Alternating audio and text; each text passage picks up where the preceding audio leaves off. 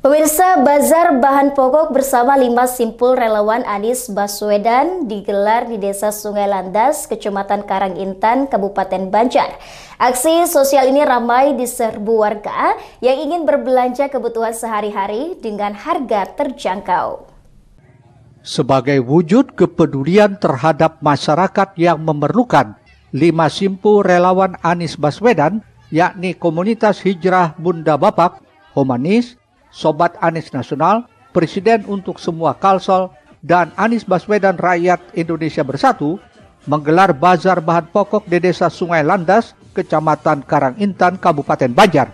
Bazar ini disambut antusias warga dan tanpa butuh waktu lama, 500 paket sembako yang disiapkan langsung ludes diserbu warga yang didominasi para kaum ibu. Di samping membantu masyarakat langsung di lapangan, aksi sosial ini bertujuan untuk memperkenalkan dan sosialisasikan sosok Anies Baswedan sebagai bakal calon Presiden Republik Indonesia. Alhamdulillah acara bisa terselenggara dengan baik, dengan lancar dan semoga ini merupakan kegiatan-kegiatan dari sosial untuk masyarakat masyarakat yang sangat membutuhkan.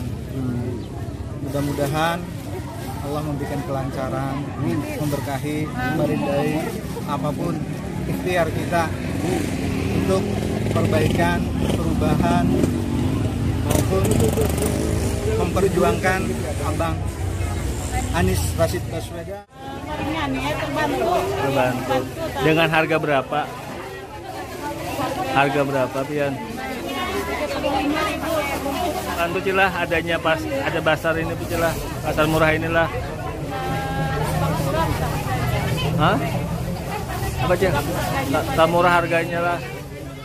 Selanjutnya bazar murah relawan Anies akan dilaksanakan di Kabupaten Baritukwala dan daerah lainnya di Kalimantan Selatan. Ahmad Ramadhani, Banjar TV.